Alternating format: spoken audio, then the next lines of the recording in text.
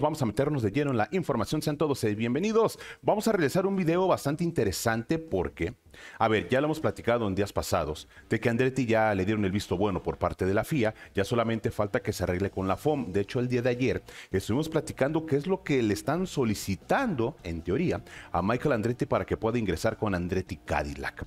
Aquí o acá les dejo el video, no sé dónde lo pone YouTube, pero bueno, para que lo observe, es una millonada, ¿eh? Pero bueno, todo parece indicar que todo se va a solucionar a base de billetazos. Vamos a meternos en el escenario de que Andretti ya llegue a la máxima categoría en el 2025.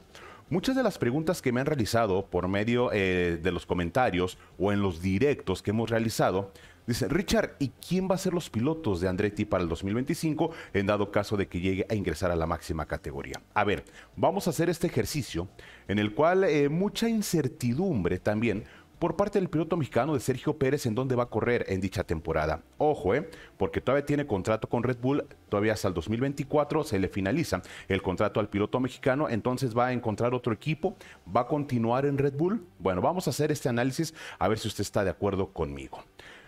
Si Andretti ingresa a la máxima categoría, primero lo que tiene que solucionar es el motor, la unidad de potencia.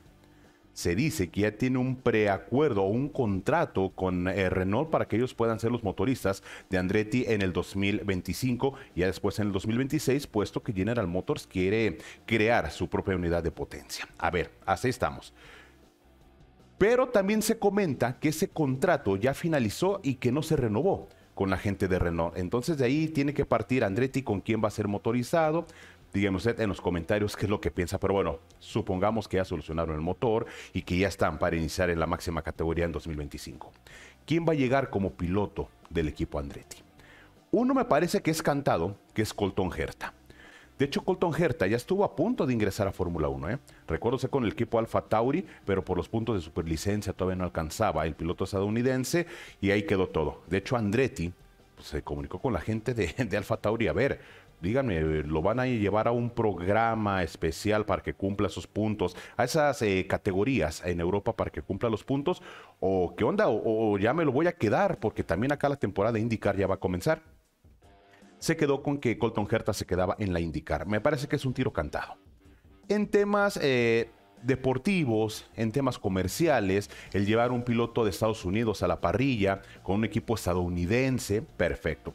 Me puede decir Williams, a ver, Williams ya tiene a Logan Sargent, piloto de Estados Unidos, con un equipo que si bien, a ver, su sede está en Grove, Williams, pero que los dueños son de Estados Unidos pero ¿se considera Williams un equipo estadounidense? Pues no. De hecho, Haas sí es un equipo estadounidense, pero ¿qué tanto, qué tanto se puede identificar con el territorio norteamericano, no? A ver, y hagamos un ejercicio. ¿A cuántas carreras va Jim Haas durante toda la temporada? A las locales, algunas dos fuera de territorio de Estados Unidos, y para le contar. Hay gente que piensa, y, me lo han dicho, hay gente que piensa que el dueño del equipo es Gunther Steiner. Tal cual. Entonces, ¿dónde está esa identidad de Haas con el eh, público de Estados Unidos? La verdad, no creo, ¿eh? Pero bueno, vámonos con Michael Andretti. Me parece que Colton es el tiro cantado, porque también se manejaba la posibilidad de que fuera Joseph Newgarden. Yo lo veo complicado porque Colton ya está encaminado con Michael Andretti y es el proyecto más avanzado que se tiene para la Fórmula 1. Así estamos bien. Otro piloto novato para Fórmula 1 va a llevar Andretti o un piloto que ya está establecido dentro de la máxima categoría. ¿Usted qué haría? Aquí vamos a hacer este análisis. A ver, opción número uno, que no es nada descabellada, es, sí señores, Sergio Pérez, el piloto mexicano. Lo hemos comentado en repetidas ocasiones, yo soy de la idea de que cuando finalice Checo su contrato con Red Bull, va a pasar por lo que quiere realizar Checo. Las palabras de Helmut Marco me parecen muy, vaya, muy significativas, ¿no? Tendremos que estar observando nuestra escuela de pilotos, porque no sabemos si Checo va a querer continuar con nosotros más allá del 2024. Le está aventando la bola a Sergio Pérez. Depende de ti si te quieres quedar. Va, a pasar por lo que quiera realizar Sergio Pérez. ¿Quiere continuar en Red Bull? No va a querer continuar en Red Bull. Sabemos lo de Lando Norris. Para ver lo de Lando Norris hay que tomarlo como tal, señores. Lo de Lando es, es la prensa la prensa la que lo pone, lo coloca y nada más. Ok. Sergio Pérez, ¿una buena opción para Andretti? Me parece que sí. En lo deportivo, vámonos al lado deportivo. A ver, me parece que un piloto con ya eh, varios años de experiencia dentro de Fórmula 1, que ha estado en Sauber, ha estado en McLaren, Force India, Racing Point, Red Bull. A ver, señores, créanme que es tentador para cualquier equipo, ¿eh? Y si llega Andretti a Fórmula 1 y viene con algo de dinero para poder también pagar el sueldo del piloto mexicano y sobre todo llega con un buen proyecto deportivo, porque también, a ver, en el entendido que no todo lo económico, ¿eh? lo que puede ganar un piloto que influye mucho, sí, se influye, ayuda, pero también el proyecto deportivo. Y Andretti, a ver, creo que viene con un proyecto muy ambicioso. Nos lo platicaba don Mario Andretti cuando estuvo en entrevista con nosotros, que también aquí o aquí se lo dejo para que observe eh, la entrevista con don Mario. Sergio me parece una buena posibilidad para llegar a Andretti en el 2025. En lo deportivo, para el equipo Andretti Cadillac. Insisto, varios años de experiencia, un piloto rápido, un piloto consistente, un piloto que ya ha ganado carreras, a ver, me parece que en ese sentido es espectacular tener a Sergio Pérez. Un piloto que te desarrolla muy bien el auto. Esa es la realidad. Y más Andretti que va a llegar a desarrollar un auto. Entonces creo que Checo puede encajar muy bien. Ahora si te vas por el lado de lo comercial, pues caray, ¿no? Vas a tener a Colton Herta y vas a tener a Sergio Pérez en tus filas. Imagínense en lo comercial con un equipo de Estados Unidos. Me parece que es un tiro cantado que la primera opción que le tiene que estar pasando por la cabeza a Michael Andretti es Sergio Pérez. Finaliza su contrato en Red Bull en el 24. Vamos por el de Guadalajara. Creo que es la primera opción, ¿eh? Díganme ustedes en los comentarios, ¿le agrada ver a, a Sergio Pérez en el equipo Andretti en el 2025? En dado caso, insisto, en este ejercicio que estamos realizando de que pueda llegar el equipo norteamericano. El plan B, que no se ha mencionado mucho, pero que ojo, hay que ponerle mucha atención al plan B que puede tener Michael Andretti. Colton Herta, ya está. Valtteri Bottas. ¿Qué tal, eh? Valtteri Bottas en el equipo Andretti. Ya sabemos que Valtteri es un muy buen piloto, velocista, que ahora está medio escondido, que está medio desaparecido. Bueno, sí, el C43 no va para ningún lado. El C43 es un auto de media parrilla para abajo y nada más que Valtteri ha tratado de desarrollarlo, ha tratado de exprimir al máximo el auto, pues sí, pero en ocasiones no da para más, ¿eh? Y no da. Pero entendemos que Valtteri Bottas también con varios años de experiencia en Fórmula 1, Williams, Mercedes, Alfa Romeo, ya lo dijo eh, Hamilton, el mejor compañero de equipo que yo he tenido es Valtteri Bottas. Es rápido, velocista, también es muy consistente el buen Valtteri. Le planteó algunas competencias también a Hamilton en Mercedes, ha ganado grandes premios, años de experiencia, desarrolla bien los autos.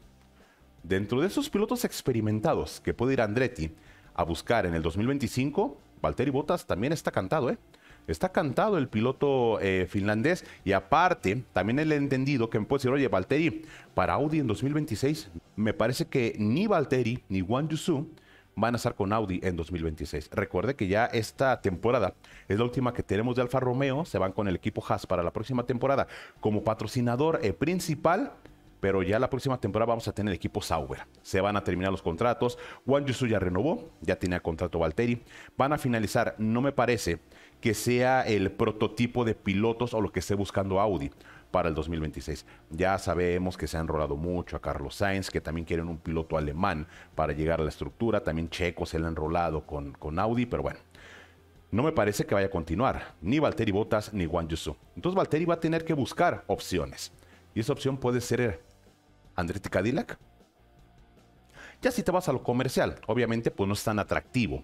Valtteri Botas como lo es Sergio Pérez en eh, mercadotecnia, en artículos eh, vendidos, a no, y, lo digo con todo respeto, no es tan atractivo Valtteri como Sergio Pérez en ese aspecto. Pero ya si te vas al lado deportivo, yo no le hago el feo, ¿eh?